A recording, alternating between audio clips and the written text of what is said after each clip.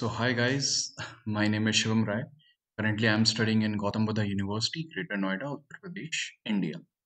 Uh, this is a presentation which I made for a webinar on intellectual property and intellectual property rights. Uh, what does the role uh, WTO, World Trade Organization, WIPO, TRIPS, trade-related aspects of intellectual property rights uh, play in our daily lives? What is the significance of uh, these these these organization and agreements, right? So uh, this is something which I wanted to share with everyone. Uh, I am pretty new to this uh, world of uh, streaming and uploading these presentations on YouTube. My first YouTube channel. Uh, I am becoming fami- familiar with these things, and um, I am also uh, using for the first time the OBS Studio, right? So these screen recordings and all these uh, technicalities I'm dealing with, and I'm pretty new to this. So please bear with me if there is any problem, right? Uh, please see this video from start to end, right? And uh, I hope you will like it. And yeah, you will uh, you wouldn't regret this thing, right? I am pretty sure about. so please do listen. And yeah, subtitles. Uh, most probably, I will add the subtitles also, uh, so that you wouldn't bother about these things, right? And uh, I am making this presentation keeping in mind that uh, viewers outside India will also going to see this. So that's why I'm making this in totally in English. And yeah, so this is the thing. So please be with me, right? So I'm going to start the presentation, right? Okay, so now starting with the presentation. Yeah, so this was a club which I was a part of in, when I was studying in my university, right? Free Radical Club. So this was a webinar on leading international treaties concerning intellectual property right. Uh, World Trade Organization, WIPO, World Intellectual Property Organization, and trade-related aspects of intellectual property rights. Okay, so starting with the international treaties. International treaties are agreements on countries to carry out activities of mutual interest based on certain agreed principles, norms, and practices. And these are binding on all the members countries, right? Source of international law and a means for evolving and developing peaceful cooperation among nations of the world. But most important thing is this that to start with the presentation on intellectual property rights, necessary to know the basics, right? And I am assuming, and most probably, and usually, uh, the viewers who are listening to these kind of videos or presentation would be new, right? I'm assuming this. So I would start with the basics, right? So what is intellectual property? Intellectual property is made from two words: intellect plus property. Creativity gives birth to intellectual and creativity is the ability to combine all the existing pieces in our head knowledge, memory, inspiration into incredible new things, new ideas. Intellectual property is an intangible property. When we own our ideas, actually represents a static claim on a dynamic process of production, right? A static claim, dynamic process of production. IP is that property which, uh, even when taken away, still remains in the possession of its original owner.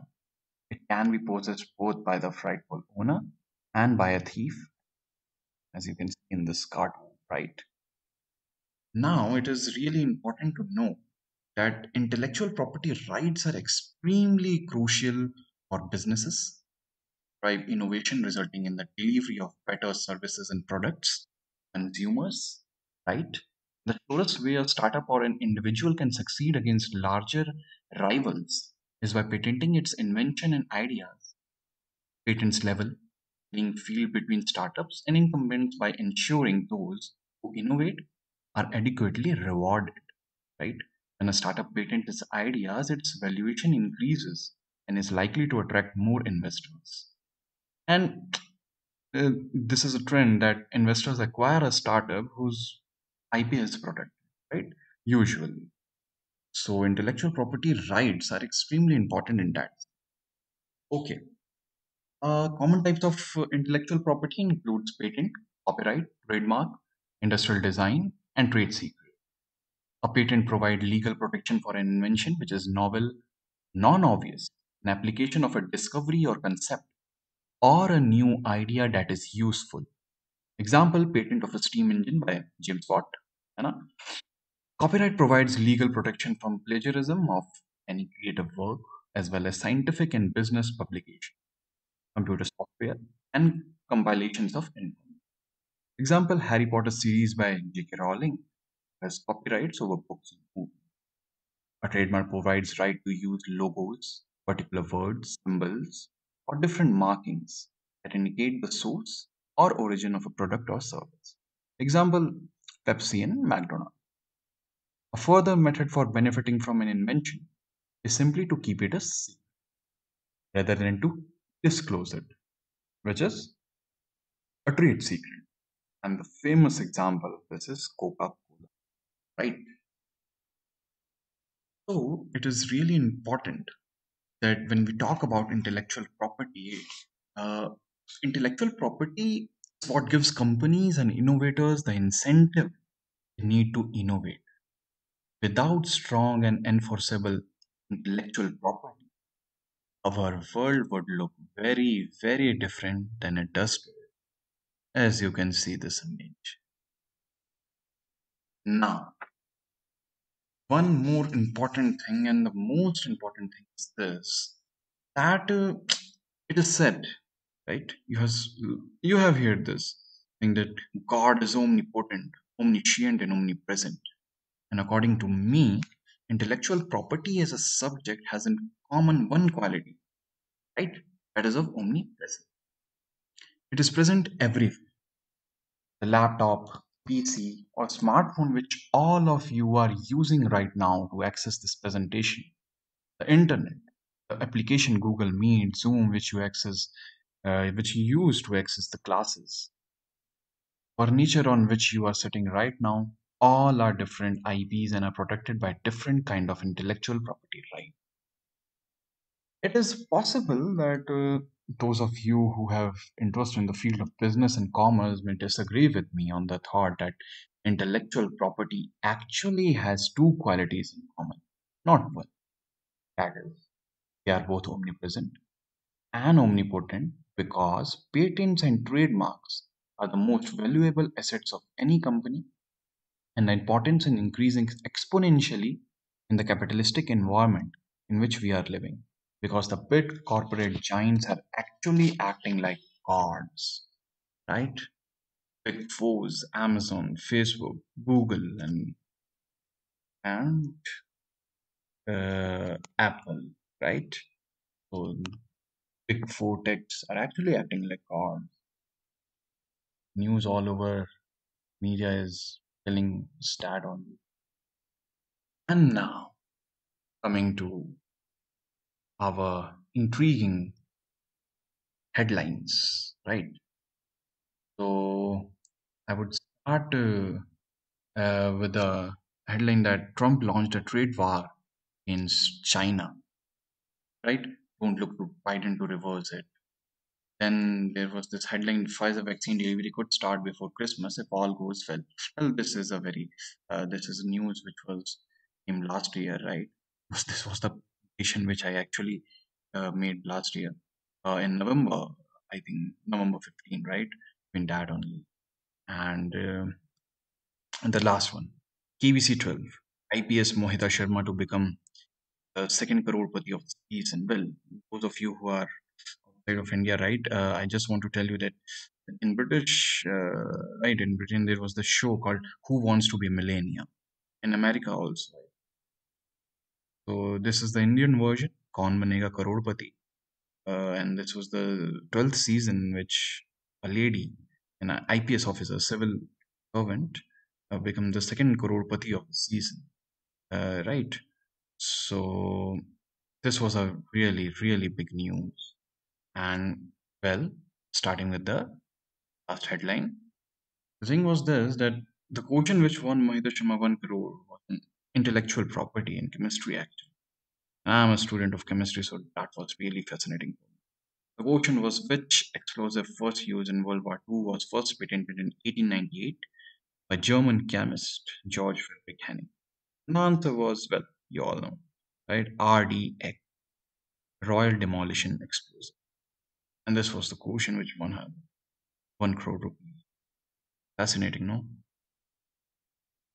Going on the second headline about the US pharmaceutical company Pfizer, which is at least from one week uh, at that time is well known as COVID 19 itself, for which it has made its vaccine. And uh, it had 94.5% success rate in trials. Uh, right. So uh, this was also a company which was recently in news because of Bill Gates. And right. I wouldn't go further, right? Very controversial figure in news right now. But many of you wouldn't be aware the foundations on which this company is built, right?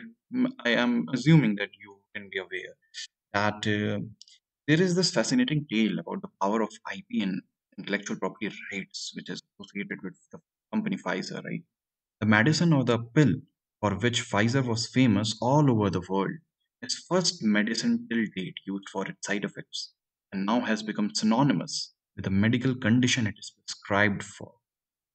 Also, the introduction of the information leaflet, which you got with any pack of medicine, is the result of this small blue pill called the Viagra pill. Hmm. I know, I know, everyone knows about right? Actually, a registered design along with the trademark, right? Fascinating story. I have given the link in the description box. You can see uh, the link to this story, right? Uh, it's really, really fascinating. Now, coming to the third headline, uh, first headline actually, if we go in a chronological uh, first headline of which you will do the background check. If you will do the background check, it will answer the questions which generally arises in the mind of a newcomer in the field of intellectual property, like does intellectual property has a great economic value, or what if the economic value of intellectual property is overrated? Or can we consider the intellectual property rights or the protection which it gives as an exploitative tool for the corporate giants to intimidate and control an inventor? And most important question of all, what is the motivation for IP development? Right? What is the motivation development? And that is the question. In my view, the US-China trade war is an excellent recent example which describes the answer to all the questions. To give you an idea of this issue in terms of trade related aspects of IP, I will give a brief description.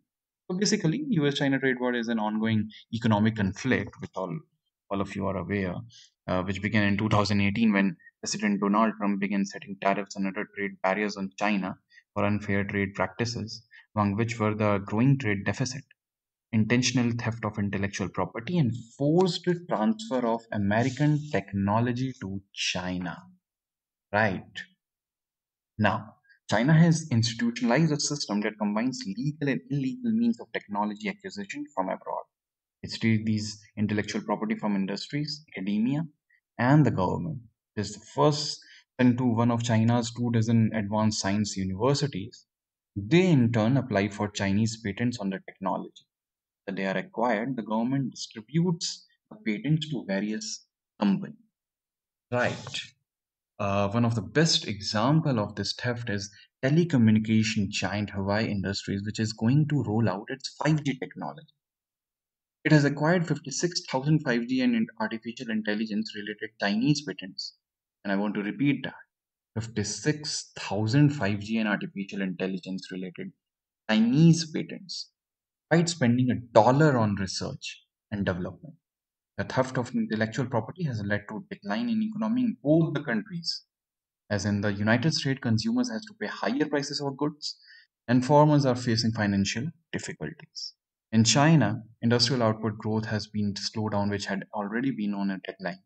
Also, many American companies have shifted supply chains to elsewhere in Asia.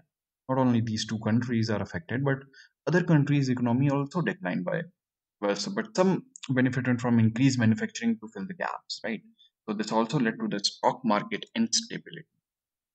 Now, all these disputes has led the World Trade Organization, that is WTO, handles disputes like these.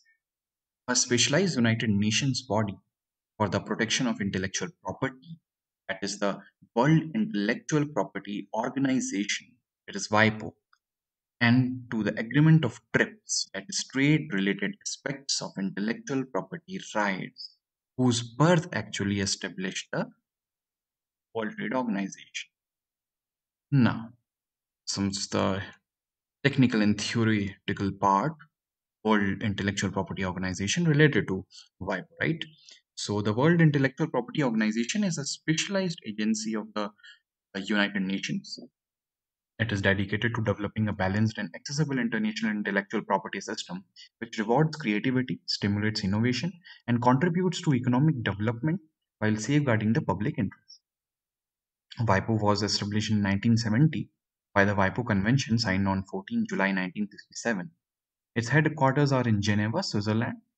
Now, an important question should arise in your mind, right? I guess it should arise in your mind till now that why the world needed an IP organization? What is the need of an IP organization? Right? What is the need? And the answer is fear. Yes, fear.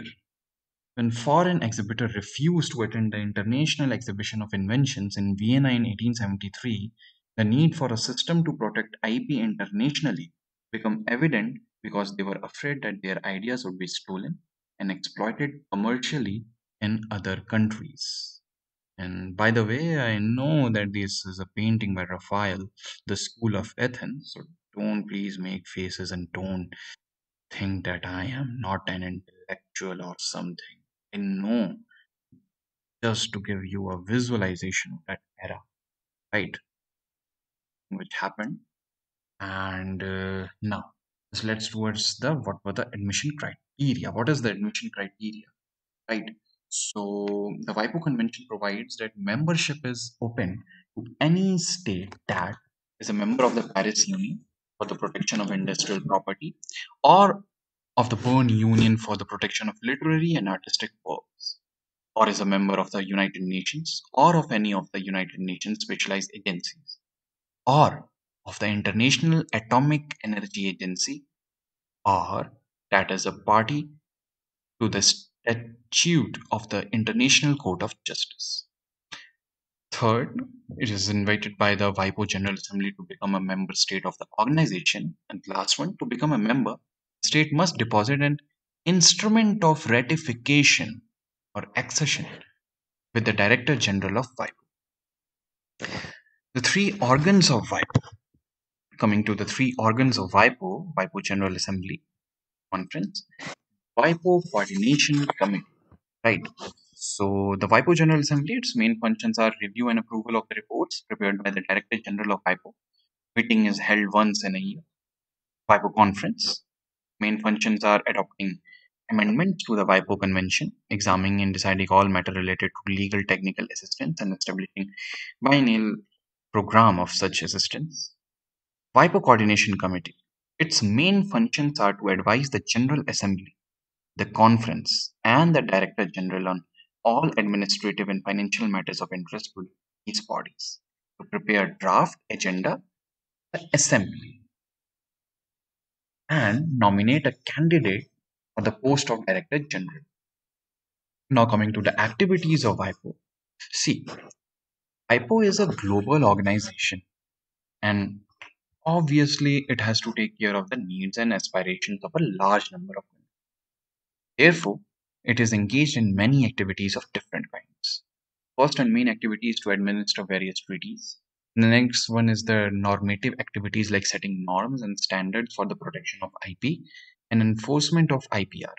The time is changing rapidly, and so has our environment, and therefore, WIPO has been engaged in evolving such norms for the protection of traditional cultural expressions and genetic resource for over a decade.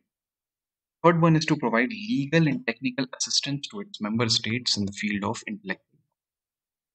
setting up classification systems of patents, trademarks, and industrial design by dividing, for example, all inventions in different classes to enable quick and easy searching of patent inventions, providing registration services for international applications. And WIPO also commissions and publishes studies on emerging issues. WIPO administered treaties, and this I have taken from the website only, a screenshot from the website. Uh, there are total 26 agreements, and WIPO administers 24 of them. One is governed by UNESCO, and the other is governed by WTO, World Trade Organization, which is the TRIPS agreement. Okay. So these are the three agreements, right? General agreement on tariffs and trade, general agreement on trade and services, the trade related aspects of intellectual property rights. Right. Okay. Now coming to the main questions. What is WTO? What is the goal? What they who they are, what they do, and what they stand. So what is the WTO? It is the only global international organization dealing with the rules of trade between nations. The core of WTO, its agreements, negotiated and signed by the bulk of the world's trading nations and ratified in their parliaments. What is the goal? Goal is to help producers of goods and services, exporters and importers conduct their business. Right? Simple. Now, who they are? Well, there are a number of ways of looking at the WTO. You can see it as an organization for trade opening or a forum for governments to negotiate trade agreements and a place for them to settle trade disputes. It is the same place where US and China are solving their issues, right? As I told earlier in the earlier slides, right? And what they do, the WTO is run by its member governments. All major decisions are made by the membership as a whole either by ministers or by their ambassadors or delegates. What they stand for. The WTO agreements are lengthy and complex because they are legal text covering a wide range of activities, but a number of simple fundamental principles run throughout all of these documents. These principles are the foundation of the multilateral trading system. Right. Okay. Well, this is a pun intended Indian meme. Okay. आप chronology समझिए basically means that now you please understand the chronology which I'm going to show you on the next slide. Okay, so this is the timeline, timeline, right? So now we will focus on the timeline only, and I wouldn't go down into the rabbit hole, which will focus only on the specific event. So WTO began life on 1 January 1995, succeeding the General Agreement on Tariff and Trade, which had regulated world trade since 1948. Starting with April 1994, Marrakesh Agreement establishing the WTO is signed. January 1995, as earlier told, the WTO is born. December 1996, first conference takes place in Singapore. December 1997, 70 WTO members reach a multilateral agreement to open their financial service sector. January and March 2000, negotiations began on services and agriculture. November 2001, China becomes the WTO's 143rd member. Please note this thing that now in November November 2001, China becomes the WTO's 143rd member, right? Uh, in January 2010, CHAIRS program launched to support developing country universities, and this is really important as a student, right? Uh, WTO CHAIR program aims to enhance knowledge and understanding of the trading system among academics and policymakers in developing countries through curriculum development research and outreach activities by universities and research institutions and well in my universities i'm also studying uh, i'm also studying intellectual property and i've also studied in my bachelor's also. And there was this uh, in one semester i had studied this intellectual property rights right? So that was the time when i got interested in intellectual property and what is its significance on our life right? So yeah this was the thing and uh, trade basically the trade related aspects of IP is extremely important for a wholesome development as far as a, a citizen of a developing country uh, concerned is concerned, right? Uh, by the way, uh, many of our universities or your universities, it is not important that the subject is not direct result of CHAIR program, but the objective is similar. Objective is similar, right? Uh, and Last January 2017, amendment to the TRIPS agreement enters into force, easing access to medicine. January 2017. Intellectual property, as you will see, that it's uh, it's a quite uh, infant, uh, if I had to say, in terms of uh, uh, uh, right. So it's it's it's in it is in its infancy, intellectual property intellectual property rights. And as far as the development is, yeah, this is the thing. Uh, well, the upcoming slides are about the trade-related aspects of intellectual property right, why it's important, especially in time like these in which the whole world is in a dire need for vaccine. And well, vaccine has come, vaccine arrived, but yeah, uh, you will have a clear picture what these things are. So the TRIPS agreement came into existence in 1995 as part of the agreement establishing the WTO. This agreement is a part of the single undertaking of the WTO by which all members of the WTO automatically become members of the agreement. Uh, significance TRIPS is the first international treaty that, that sets up minimum standards of protection for all forms of IPR. The genius of TRIPS is that it included certain other international instruments such as the Paris Convention, the Berne Convention, the Rome Convention, and the Washington Treaty, which were already in existence to avoid re establishing individual standards in all forms of IPR. It is the first international treaty on IPR that stipulates detailed civil, criminal, and border enforcement provisions. Also, the first treaty having a distinct and binding dispute settlement system, not found in most international agreements. Right? This is one of the most important things. Uh, TRIPS covers the following forms of IPR patents, copyright, trademark, industrial design, geographical indications, protection of layout design for integrated circuit, protection of undisclosed information, and protection of new plant varieties. Right, so yeah, these are one of those things. Uh, principles uh, focusing on the principal TRIPS is guided by the following principles. Uh, adopt measures necessary to protect public health and nutrition and promote interest in sectors of vital importance to their socio-economic and technological development, provided that such measures are consistent with the provision of TRIPS. Adopt. And the second point is adopt measures to prevent the abuse of IPR by right holders or restraint practices, reasonably restrain trade or adversely affect the international trade of technology. Uh, it is possible that uh, these principles may not appear important to you in the short term, day to day life, are very, very important for maintaining and shaping the agreement in times to come as they concern the welfare of the human race. Uh, now, and the point which I'm going to make it will be a bit controversial. You may not like it, you may like it, but you have to accept it that this is it. And the point is this that the motivation of intellectual property development actually arises from selfishness. Yes, selfishness. And popular uses usage, this word is a synonym of evil. In fact, the exact meaning and dictionary definition of the word selfishness is concerned with one's own interests. Don't you think that it is the concern with one's own interest that we are enjoying the life today, which in turn is a result of capitalism?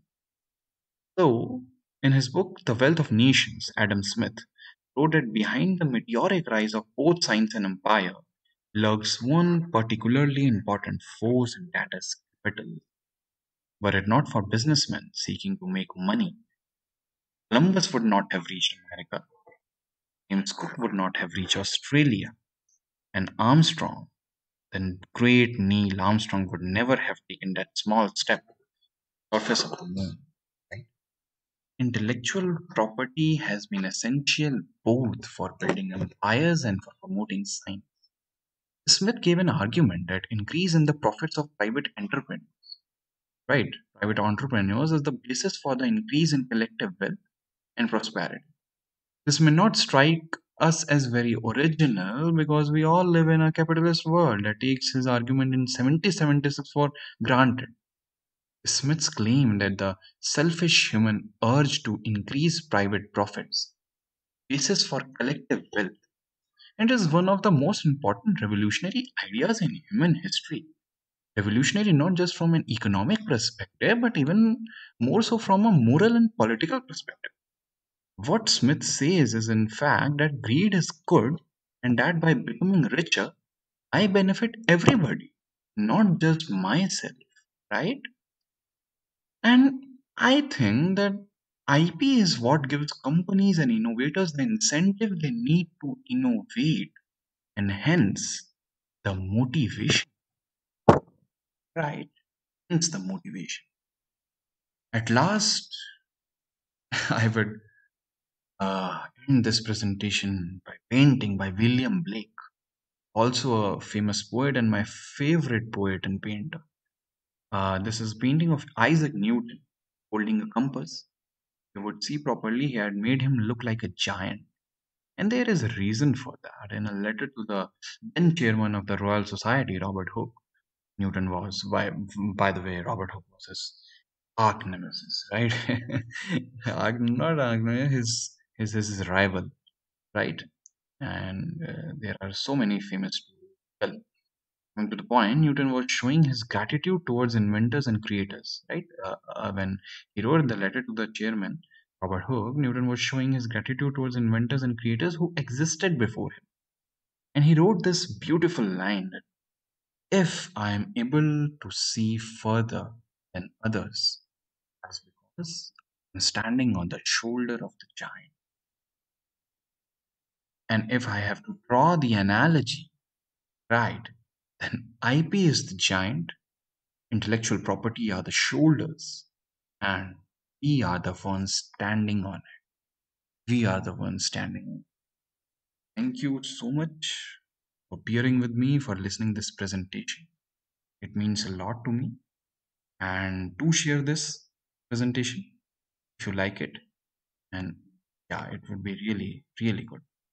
Me as a creator, and it would be, and if you like it, please like, please press the like, button, right? Thank you so much.